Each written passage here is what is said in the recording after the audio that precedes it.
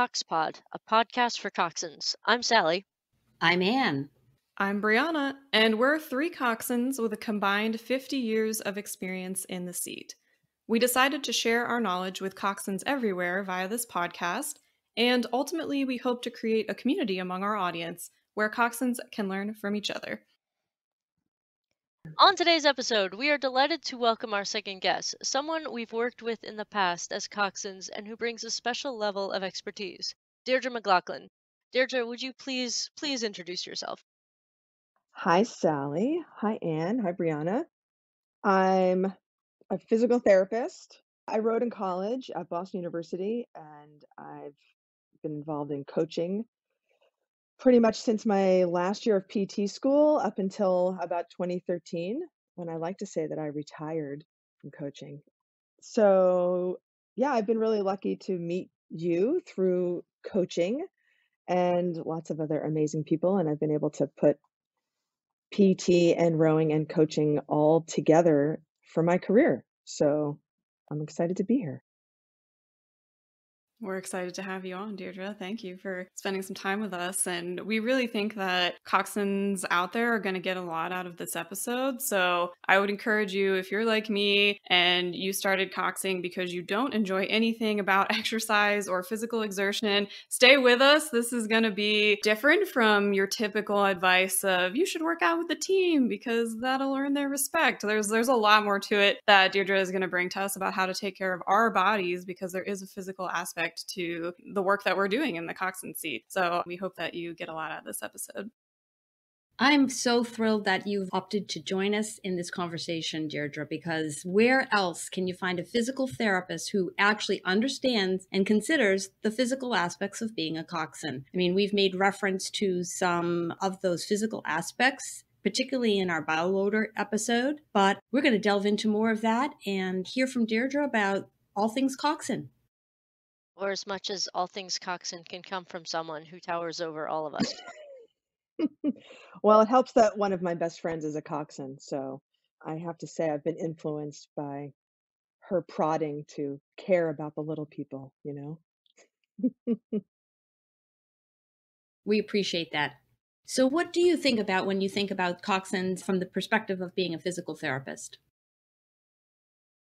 I think for lack of a better word, maybe they're often ignored. You never really hear about a coxswain not being able to be at a race because of an injury or missing practice because of an injury. We think of the rowers in that respect.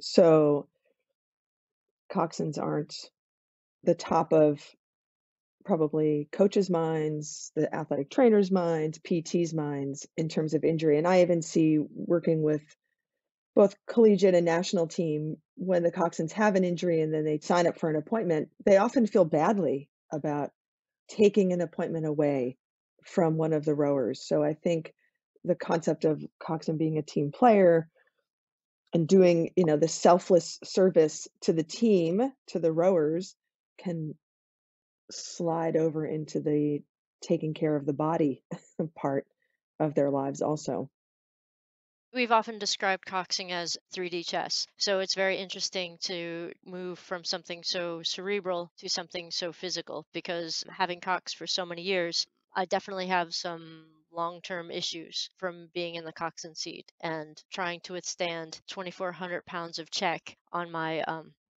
what I'd like to think is a 6'2, 220 frame, but um, inertia and gravity will say otherwise. What do you think we should do to prepare ourselves to face the rigors and tortures and terror of check? Aside from the rowers rowing a little bit better. There's only so much prodding we can do. That is true. You do have to do some sort of working out, right? And be strong. And I think you have to consider that you're an athlete also. And I say that about people who have to sit at a desk all day you know, I say they're an upper extremity athlete. It takes a certain amount of strength to sit and type all day long. And if you overdo that, then you have an injury. So I think coxswains also need to have a little m- mindset of being an athlete, a different type of athlete, but an athlete nonetheless. Doesn't mean you need to go run 25 miles. You're not an endurance athlete the way the rowers are, So there needs to be a certain amount of strength and core strength to be able to hold yourself in a position. And then you have to be able, just like the rowers or just like my office worker, to be able to sit and get into, I'm going to say the best position possible. Because as you know, when talking about bow loaders, sometimes you can't get into the right position or if the boat is too small or, you know, all of those factors. So positioning would be both number one, number two, and then having some amount of strength, core stability would be those top two factors. Is there any specific core strength that coxswains need, uh, similar to rowers, different than rowers? Yeah, you do need abdominal strength, core strength. We talk about that a lot. It's nobody really talked about core strength when I was rowing. We didn't do planks. we did a bunch of sit-ups, but that ability to hold yourself. So I like to do things like hold the plank for a minute, you know, 90 seconds, because that race or that practice is a long amount of time. It's not just doing 100 sit ups. So having some core stability would be a similar strength to the rowers.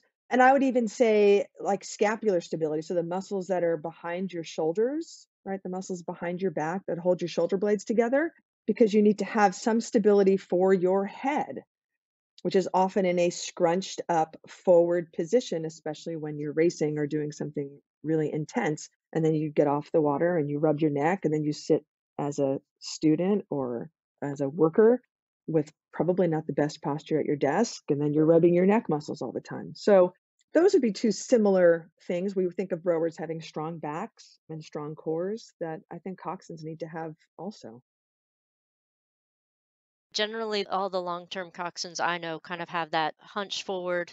Maybe that's just the physiological effect of what we're doing to ourselves. Yeah, you're in that same position for, uh, you know, an hour a day, two hours a day, depending on what situation you're in. Are you coxing a couple times a week, you know, six days a week? So you're in that rounded position. And it's really important to try to have some stability in that position, but also then to get out of that position. I see a variety of people, high school kids to adults. So one of the things I try to impress upon younger people maybe is the idea of avoiding little old lady hump, right? That you don't just wake up when you're 80, oh gosh, look at this little hump I got on my neck all hunched over. That just happens with gravity. Gravity is going to have an effect and push you straight down. So when you're out of the coxswains, being able to stand up tall and the ability to come back to a straighter standing posture so that you don't constantly sit hunched over, which is difficult in our society with phones, texting, computing.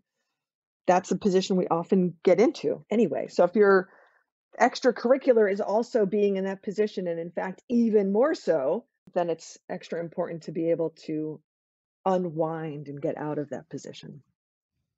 I'm really glad that we're talking about the scrunching and also the concurrent need to be stable in the seat. And right now, I'm speaking specifically about being in a stern loaded boat, right? So I personally, you know, between the forward position, the scrunching up, trying to get my uh, behind into a spot that is not designed for me at all. And then also bracing my core for usually an hour, maybe more.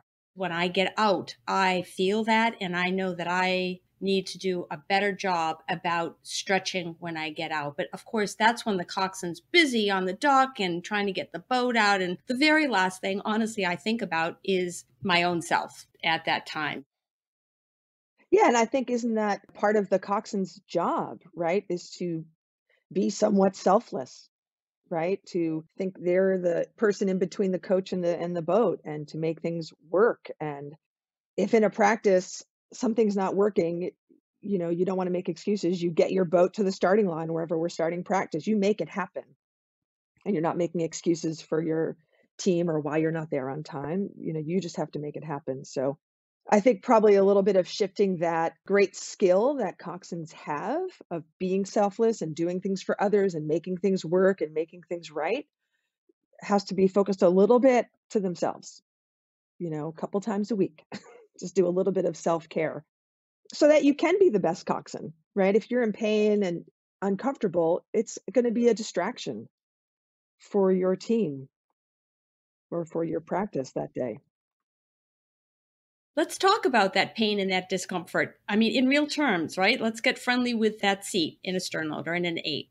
When I get in many of the boats, I try to put my tush back and lean forward and be braced. But honestly, there are many times that my one or both legs will fall asleep, or there isn't a place for me to have my feet secured against something. I mean, Breana or Sally, do either one of you run into those situations at all? Absolutely. this is a theme for me in a lot of boats, and I think it's worth addressing this because many coxswains' experience when they start in the sport is likely, at best, a coach just gesturing generally to that area and being like, here's where you go and then off you go and there's no discussion of how to sit properly in that seat. So i think this will really be a valuable discussion. And i've definitely had that issue where a boat is not designed for the anatomy that many of us have as humans and our hips don't actually fit into that seat. And so you're you're making a decision between am i kind of like hovering above the seat? Am I sitting on the deck, which is going to throw off the boat? And I can't do that in a serious competitive situation. I've often settled for the approach of like twisting my hips so that they're sort of fitting sideways in the boat and then my legs fall asleep. So once one falls asleep, I, I switch to the other side. And then when you get back to the dock, it's all you can do to just kind of like roll onto the dock and then get back up and make sure that you're getting off the dock as fast as you can and stumbling around. And so I definitely relate to not having time for yourself. So I think it's worth it for us to talk about if eh, there's any way that we can mitigate some of these discomforts and challenges to keep ourselves healthy long term. And it's all about the image, right? Nothing's more humanizing than you've just done this incredible dock in a quartering cross with a bunch of novice rowers and you glide into the dock and then you go to try to stand up and your legs don't work and you fall face first into goose poop. The universe likes to keep me humble. Theoretically speaking, of course. Yeah, right? never, ever happens to me. But Deirdre, is there a way you can recommend that we sit in the seat that will help minimize the impact on our bodies and and try to absorb some of the uh theoretical check that rowers are offering? And for our listeners who are in the UK, check is what when a freight train is coming at you and you're going the other direction. Is how I would describe it. Anybody? Yeah, and you absorb all of that with your spine, your neck, and your back. So, uh, sure. I mean, of course, what I'm saying, people are probably going to roll their eyes because I'm going to offer something that, as you've already mentioned, is not always possible, right? So, I'll offer the ideal. so, the ideal would be that, yeah, you get your butt and scooch it all the way to the back of that seat so that you're sitting on your sit bones. And for those of you listening that don't know where your sit bones are, if you're sitting on a hard chair and you sit up really tall and your basically your low back arches and your belly you know sticks out and comes forward. Now your sit bones have rolled to the back of the seat. And then as you start to start going into the slump position you should feel that your weight centers on each of your sit bones underneath each of your butt cheeks. And then you could keep slumping and keep going and keep going and keep going. And now you've slumped all the way and now your sit bones are aiming more towards your feet and forward. So often that's how we sit at our desk or on the couch. We sit in this slumped position, and that's when our pelvis, we call this, is tilted backwards or tilted posteriorly, and your upper body scrunches down. And so I see a lot of coxswains sit in that position because it's a way to kind of be theoretically aerodynamic, right, and get smaller but I think there's a way to do that a little better where you can take your hips and move them all the way to the back of the seat and try to be on your sit bones. And then you can lean forward a little bit into that body angle position so that your shoulders are in front of your hips, but instead of your spine being slumped from the bottom, you just are in that same body angle position. So if any coxswains are working with their rowers, you see that you don't want your rowers to be in the same position. You don't want your rowers to be slumped underneath. There's not a lot of strength in that position. And then on your sit bones and getting body angle is how you'd like the rowers to be. So that's the same positioning for you. And then your feet if possible, braced against something with your knees in nice alignment. This is perfection, right? You're not your knees twisted in or out. But that's not always possible. So I think if your hips don't fit, then getting into that position as much as possible. But yeah, I would slide right or left and just keep alternating. One of the things your spine loves is movement. Um, not check, not that kind of movement, but it doesn't really like staying in that one position. So moving back and forth is probably the best you can do to take some weight off of one sit bone or the other or one side of your hip. You can experiment on a seat, on a hard seat of tilting back and forth and trying to find your sit bones. And you know where they are if you've ever had somebody sit on your lap and they dig their sit bone into your quad as they're shifting around. That's your sit bone. So that would be a start of how to position in a stern loaded boat. I appreciate that description. And I guess I also have to add a tip that I have not utilized that much because I don't feel so comfortable in it is putting some padding underneath you. Sometimes people use a part of a life jacket or whatever to lift them up just a little bit so that their hips are in the wider section of the U shape of the back. Have either one of you, Sally or Breana, done something like that in some boats or seen people do that? I coxed for a team for a kind of day long clinic once who had a practice of using yoga blocks, so kind of a hard piece of foam that they would stick in the coxswain seat. And that is pretty thick, so it does lift you up fairly far, which you may decide you don't want in a racing scenario. For instance, you may want to be closer to the hull. But for that very lengthy time that we were out on the water, that was an absolute game changer for me to finally feel like that extra physical discomfort was mentally off my plate and I could give my full attention to, you know, working with this boat. So you know, there's no shame in exploring that. I, I think boats again are are not always designed with the actual human anatomy in mind, you know, having looked at a real person and how their hips are made. So I encourage people, like, that's not just a strategy for like rowers who are too big to fit in the seat. That can be a strategy that could take something away from you that has been distracting you from being able to give your best at practice, like we've been saying. And just to put it in perspective, Breana is choosing to sit on yoga blocks, which are known for their creature comfort and softness, which is why so many mattress tops are made out of yoga blocks. And that she's finding softer and more pliable than perhaps the rigors of a coxswain seat. So just balancing out how much pain she's actually in. That's very true on the spectrum of comfort. if a yoga block's an improvement, you know there's some work to be done in improving our seat. And I think what you said, Deirdre, was also really helpful and empowering is just that the spine loves movement. I think that is a straightforward tool that coxswains can carry forward. Like one thing that I try to encourage the coxswains that I've coached to do, which I don't think we're always given permission to do, is to take a break in between pieces just like the rowers do. So when my legs are falling asleep, I'll hop up on the deck, just, you know, know your own shell and whether you can do that, but that's allowed. There's no reason when the boat is sitting still and the coach is having a casual chat and the rowers are sipping their water, you don't need to still be hunched down and braced. You're allowed to sit up, stretch your legs, you know, stick them up on the gunnels, do whatever you need to do. So I'd like to encourage any coxswains listening to take this permission from me, if that's worth anything, to give yourself a little physical rest in between pieces and things as well. That's an absolute great point. I mean, rowers are often doing that, right? Even rowers will ask me, what can I do to take a break? Lie down, right? So rowers are in that flexed, rounded position. So sometimes in between pieces, I ask them to lie down flat and stretch over the foot stretchers behind them. So absolutely taking as much time as you can to move and fidget and twist is a great idea. We've all done it. We've all done sitting there in the coxswain seat trying to smack the blood flow back into our legs at a certain piece. So I know numbness as a whole is bad. Are we doing any permanent damage or is it just, you know, one for the storybooks? That's a good question. It would be difficult for me to answer that if you're doing permanent damage. In general, numbness is not helpful. It means that there's compression on the nerves, just like if you've, you know, anyone out there that has not experienced this yet. But if you hit your funny bone, you're hitting the ulnar nerve at your elbow and your pinky goes to sleep and you shake your hand and you might say a few four letter words and it really hurts. So if you're getting numbness in your legs, Generally, it might be from compressing your sciatic nerve in your glutes. But you also, you know, some people get numbness in their leg when their foot is crossed. There's lots of different nerves in your body you can be compressing.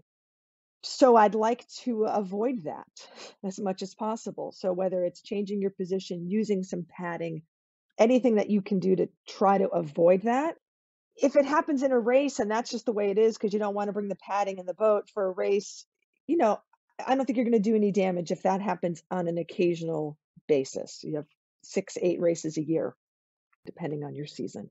But any numbness also coming down your hands, I've seen that sometimes with coxswain. So we talked about the slumped position in your lower back, right? The same thing with the nerves that go down your arm. They start in your neck.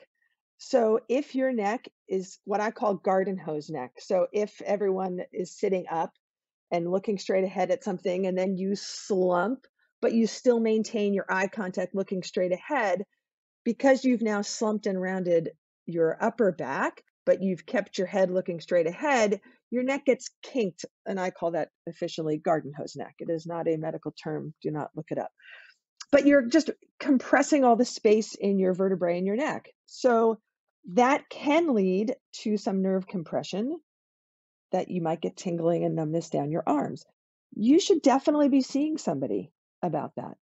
You should definitely be going to your athletic trainer or your PT or your doctor to get that looked at because that's not something that you want to have all the time. And you need to be able to find some, either have someone work with you and see if there's a place that the PT or the athletic trainer and your massage therapist can take some pressure off of those nerves that go down your arm or help you with positioning. And you should be able to talk to your trainer or your PT to demonstrate what you need to do. And even if they're not rowers, they should be able to help you with that. So, yeah, avoiding that numbness and tingling is a good thing. Is it permanent?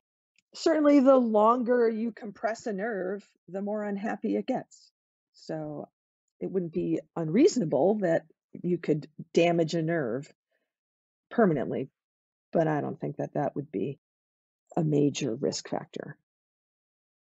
It's coming to my mind that we cannot state too clearly that numbness, tingling, pins and needles, pain, those sorts of things that indicate the nerve compression of some sort, they're not normal those are indications that you should pay attention. Am I right, Deirdre? That you should pay attention to your positioning and do everything that you possibly can do to avoid those positions. Now, we've already agreed you can't always avoid those positions, but there are things that you can do. But please, I hope coxswains out there of any age will understand that this is not necessarily the price that you have to pay to be in that seat. In fact, as Breana mentioned, many times it's a distractor. So, for your own health, but also for your ability to be a good coxswain, the more we can avoid those situations, the better. Is that fair to say? Absolutely. Absolutely. I personally struggle a lot with bow loaders, having spent a lot of my time in bow loaders with where the bars or the support straps go. And we talked about that quite a bit in a prior episode about bow loader safety and comfort. But do you have any suggestions about what to do in those situations? Yeah, that's a hard one just because there's also so many different seat configurations. Again, I would uh, use Breana's, you know, advice. Whatever that shell is, if there's some sort of safe way to do padding, you don't want to get stuck in the bow loader. You can't do all these extra life jackets and then be unable to get out but moving the bar, adjusting the strap, and and then hopefully you have a good relationship with your coach, and you can ask your coach to take a look at that boat or give it to your rigger or your boatman to add a strap or to fix the strap. That's not I shouldn't say that's not their priority as coaches because I'm sure there's coaches out there where it is their priority. But eh, often coaches are also pretty stressed. They have X number of boats on the water and unless the rower comes up and tells them, hey, my foot stretcher is broken, or hey, my seat isn't moving right, or hey, they don't always know that either, right? They're not automatically checking every single seat except when it comes to race day. And now we're rigging it incessantly at the Crew Classic and checking every little piece. So I would say as coxswains also maybe part of that speaking up for yourself and asking your coach to take a look at that or can you add a strap there's a lot of amazing boat persons out there who can fix things and that would be probably my best advice and then taking breaks standing up having some more of that core strength that we touched upon in the beginning so that you give your spine a little stability. I think that's really important. It doesn't mean you have to plank for 10 minutes but there is a certain level of being able to take care of yourself and understand that you are an athlete and that if lying in that bow loaded boat in an awkward position is an athletic endeavor that you need to have some stability and some strength to be able to do that that's that's a difficult thing to do to hold yourself in that position Yeah, there's a reason why lazy boy recliners aren't built in the shape of coxswain seats. exactly Oh, if only. Nothing in the world should be built in that shape, frankly, including coxswain seats. Got such a point. And I know we've been talking a lot about the core and the neck and the spine, but I'm also thinking about how many times in the bow loaders I've been appreciative of the fact that I have fairly decent upper body strength because extracting myself from the bow loader, getting myself up and out, it does require a lot of physical effort. Is there anything that you might recommend for specifically building those muscles to be able to be more limber about getting out? certainly an easy one is just what you described doing tricep dips right? Being able to hold your body weight up and doing dips. So you know i've put together i think you'll you'll talk about it later on but just some basic core stability and strengthening exercises that i think coxswain should do. And then if you would like to lift with the team and just have general upper body strength then of course i would never say that that's not helpful to have some good general upper body strength Yeah, we're very eager to share these resources that Deirdre has put together in our show notes, and we'll describe those in further detail a little later in the episode as well. And I, I wonder if there's anything in particular you maybe want to highlight about that, because I think the advice that coxswains are often given to improve their own physical strength is like, well, why don't you just erg the team? And doing that puts you in the exact same position you're in the whole time that you're coxing. So if you could, I don't know, maybe highlight something or recap something, give a general gist of what coxswains can find in these resources that you're going to provide so that they have a, a better strategy perhaps to strengthen themselves and kind of undo the damage that is being done to our bodies as we're put in these positions. Yeah, sure. So one of the ones I made is the um, undoing, right? So I called it unwinding after coxing, that you are in this one position of being rounded forward. Maybe you're slumped, maybe you're trying your best to get your sit bones to the back of the seat, but you're still in a flexed or a rounded position in your low back, which isn't a terrible thing, but you just want to try to undo some of that. It's the same as if you took your wrist and you bent it all the way. You wouldn't want to hang out in that wrist flexed position for six hours. Your body's made to move. So a lot of these, uh, the unwinding have a lot of back extension or arches, rotations, hip extension, just opening up the front side of your body and moving it in the opposite direction. I've given a lot because I talk a lot. So I've given you a lot of exercises. You don't need to do them all even if when you get out of the boat, you just reach up to the sky and do a stretch, or put your hands in the small of your back and do a back extension where you arch your back, even that can be helpful. So I've given a bunch of exercises. You could do them all if you get to work out with the team. You can save these on your phone, or you can try to do a couple of them every day, or a couple of them in between class, or a couple of them before practice. So I'd like for these exercises to become more part of your life, not I need to do these 15 exercises every practice. That's not what I'd like you to do. The core works is um, just some ideas of things that you can do for your abs. So there's some dying bug or dead bug exercises in here, which people should be familiar with. Some bridging, some planking, and what I would do is try to hold these for 35 seconds, 45 seconds, a minute, and think about what you're asking your body to do in a practice is to hold a position for an hour and a half, or eh, of course, taking breaks like Breana mentioned, but you're asking your body to hold a certain position. So that's what I'd like you to think about with some of these core exercises. I have some diagonal work just to change your body a little bit because yes, you're holding yourself in one position, but to go back to the concept of check, you have to resist movement right? So if there's a crosswind, if for some reason the boat is really going over to port side at the catch, yeah, you're trying to fix all that, of course, but some days you just can't, or the wind's blowing you over. So you have to be able to resist movement, which then means your obliques are working and different parts of your spine. So the rotation exercises that I have are important to strengthen those parts of your body.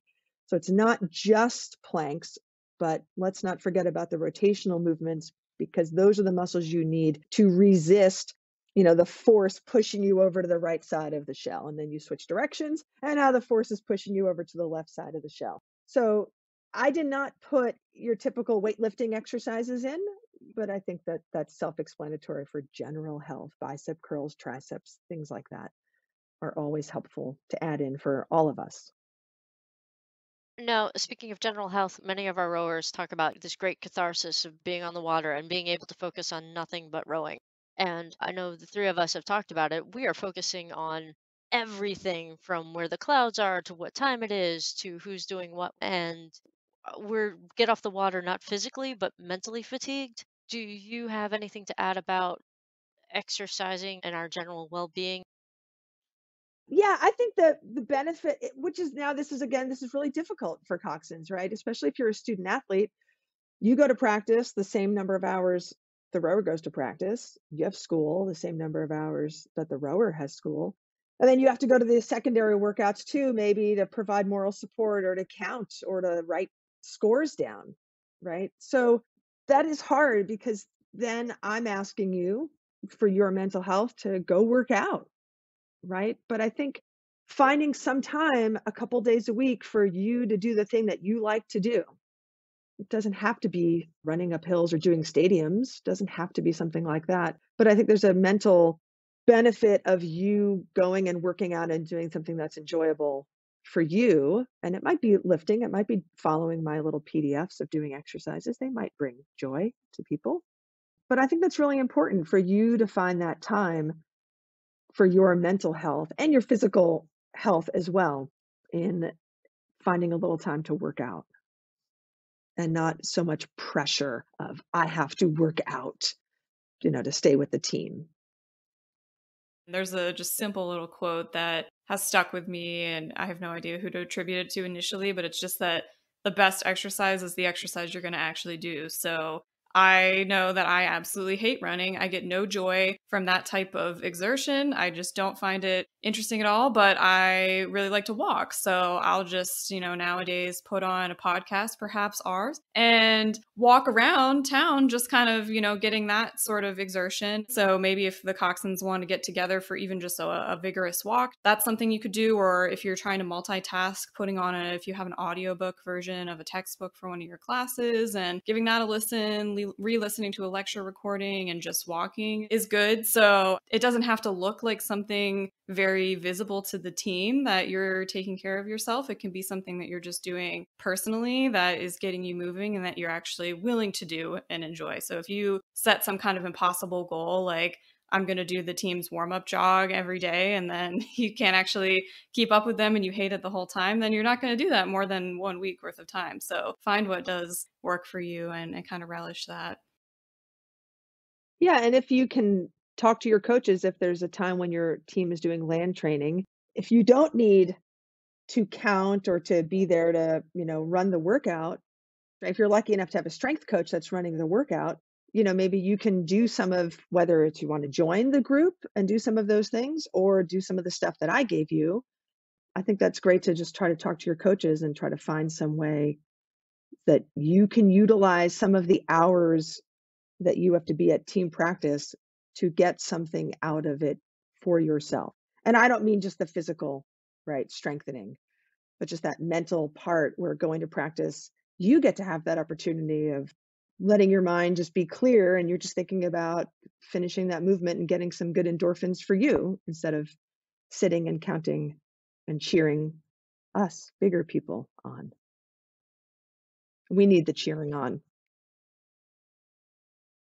Since I rarely have a coach available when I'm out with a master's group, I wanted to just share with our audience that what I have tried to do is as rowers are drifting into the boathouse for the practice, that's a time that once I've got my gear with me and understand what's happening for the day, I take those probably five to seven minutes to do some stretching before I even get on the water. Because after the water, everybody, including myself, is rushing to get into the car and get to work. So, do you have any particular stretches that you might recommend when you have that five minutes? And you do, you have to consciously take that time and say, I know that I'm not really on duty quite yet. I'm going to take this time to do XYZ.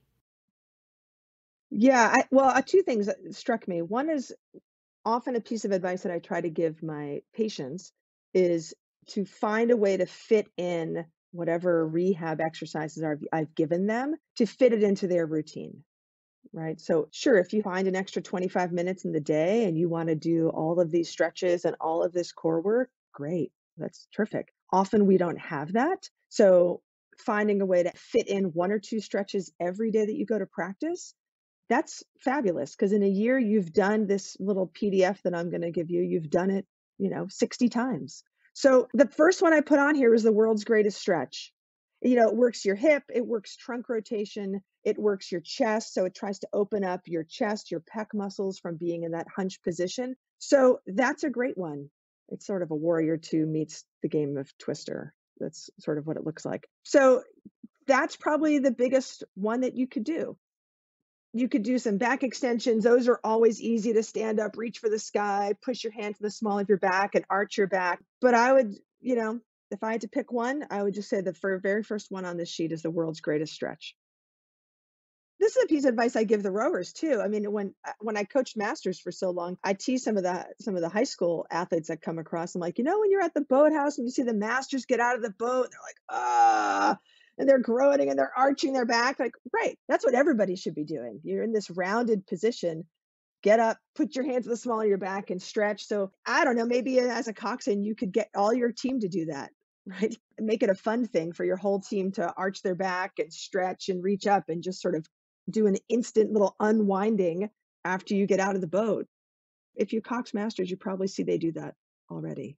Octogenarian grown in two, please. Ready. exactly. Make it fun. Deirdre, you and I bonded over the fact that we both coached, managed, and subjected ourselves to a master's team for quite some time.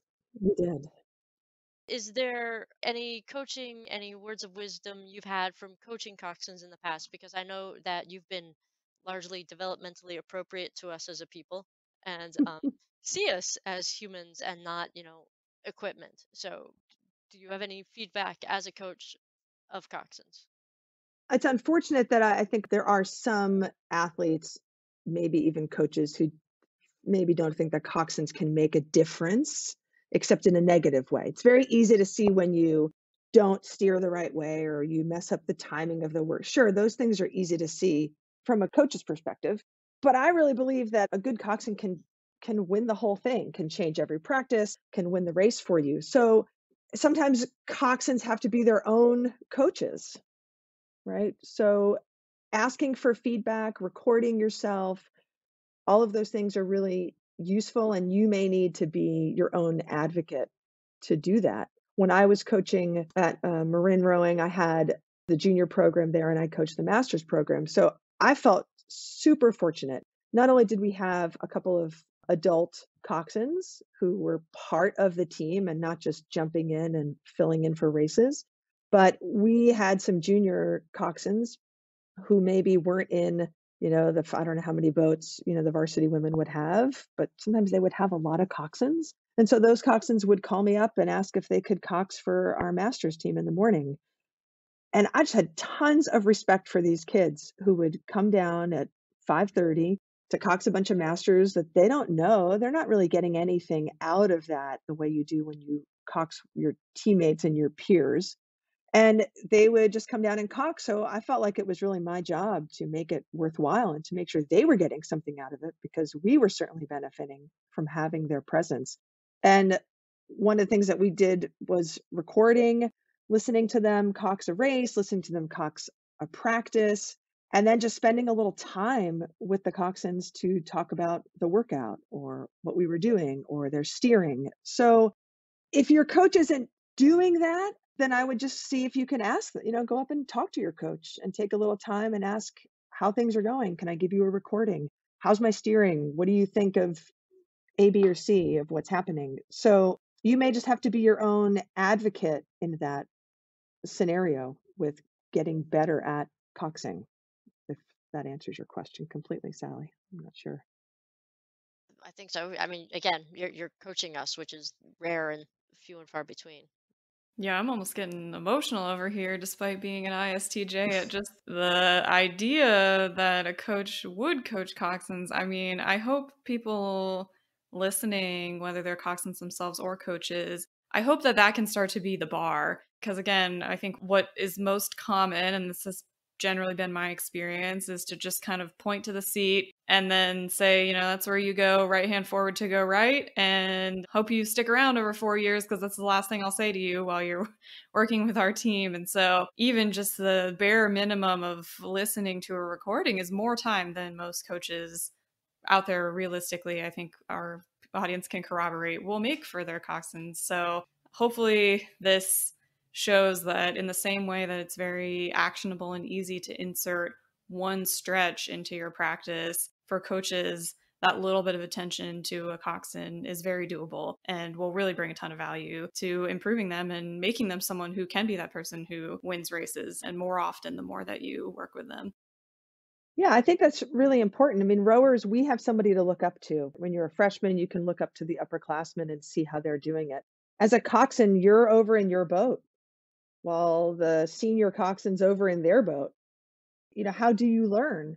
And I think sometimes as coaches, and I'll speak for myself, maybe not in terms of the coxswain, but I'll just use a story of with rowers. So when I'm coaching masters rowers, I'm going to spend a little more time on the rowers that are cause I say causing me trouble, but that are affecting the boat negatively, right? I'm going to spend a little more time on trying to get this rower to not rush the slide or this rower to move their hands so if you're doing pretty good, I might not spend a lot of time on on you.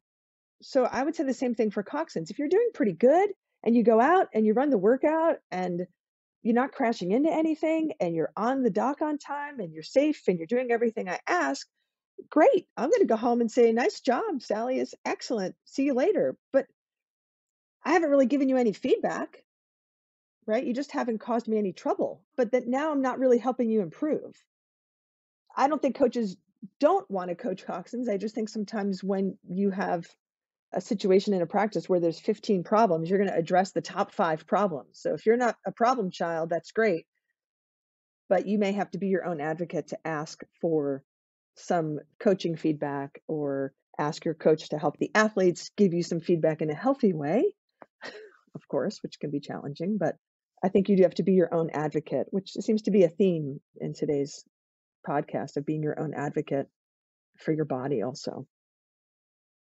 Should there be coaches, and there are some, who do take that time to communicate with the coxswain, not just to pull information from them, but to even just acknowledge that they are athletes of a different sort and understand what potentially are areas of discomfort. Just ask, you know, are you having any issues with how you feel in the boat that you're in? Physically, how are you doing? Can I give you a special time to be able to do that stretch or whatever it is that you want to do? That coach is a rare bird, but so deeply appreciated. And to Breana's comments, wouldn't that be great if that's where the bar moves?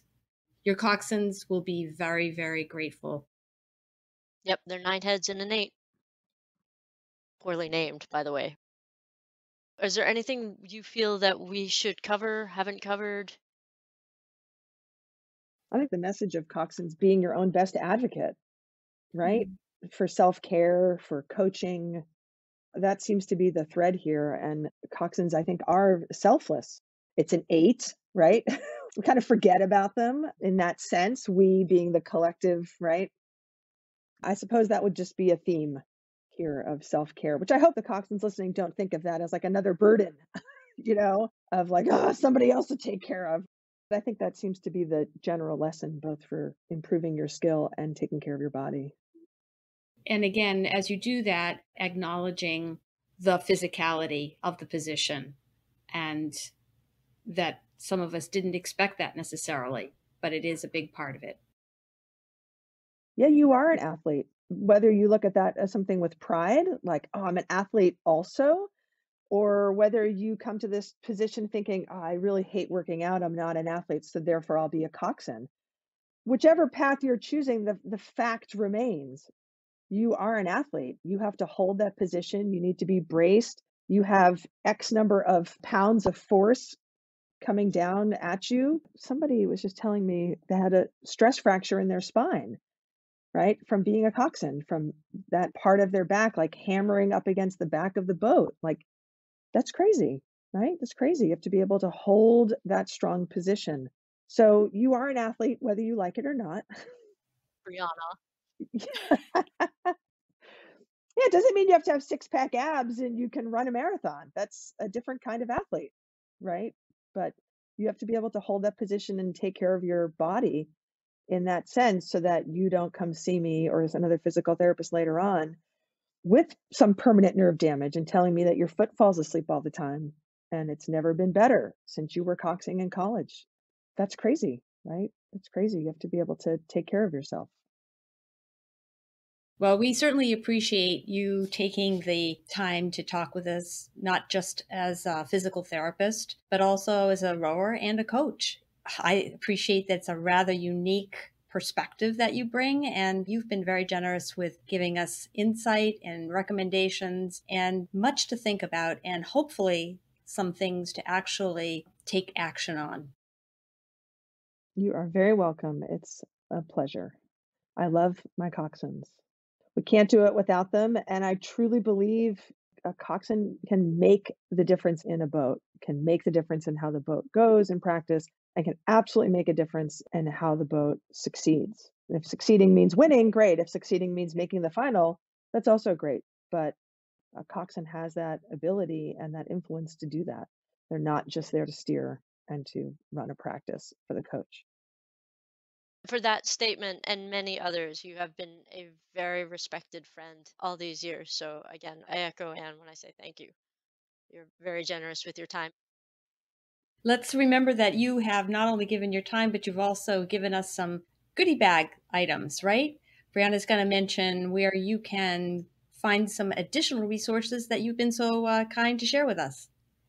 Yeah, we just want to highlight again that in our show notes for this episode, which you can find as with all show notes for our episodes at coxpod.com, we will have those PDFs, uh, those resources of different stretches and exercises that you can do that Deirdre has so graciously provided for us. So, as she suggested, pull those up on your phone, do them on your own, get a group of coxswains together at the beginning of practice and start a little routine of doing those together. You know, incorporate those realistically into your life. And as a final note here, Deirdre, if you could also share how our audience can get in touch with you or connect to you if they would like to do so. Sure. The easiest way would be email. My first name is a little challenging to spell. So, Resolute Rehab is the website, which is a lot easier to spell than Deirdre. So you can just email me from there, Deirdre at resoluterehab.com. And I'm happy to assist you with either finding a therapist or somebody that lives near you if you needed some work done, or just exchanging an email or two to see if there's some quick way I can help direct you.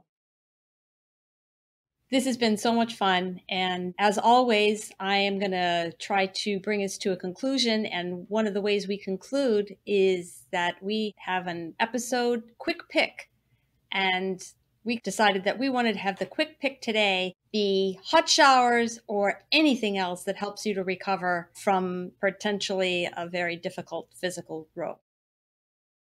And we will also give our shout out for this episode, which is we just want to acknowledge our growing and global audience. We actually have had listeners across seven countries in the world so far, which is awesome. Hello, everyone. It's Breana during editing here. Since we recorded this episode, we actually have nearly doubled that number from 7 to 13 countries. Thank you for tuning in from all over the world. We are delighted and honored to have reached that wide of an audience. And now back to me from the past. So, wherever you're listening from, perhaps you have some company out there, and we hope that we can just continue to expand that audience. And a final reminder to just find those incredibly useful handouts of stretches from Deirdre on our website at coxpod.com. Find the show notes for this episode, and you will have those there for your perusal. In the meantime, we invite you to engage with us on social media and on Slack. We already have had some great questions from our Slack community that we are planning on incorporating in an upcoming episode. So keep the questions coming. We'd also like to thank our earliest Patreon supporters. Already up on Patreon, we have behind the scenes looks at our graphic design and some fun statistics where our audience is listening from, and so much more to come. We are excited to bring you more content soon, and until next time, I'm Sally. I'm Anne. And I'm Breana, signing off for now.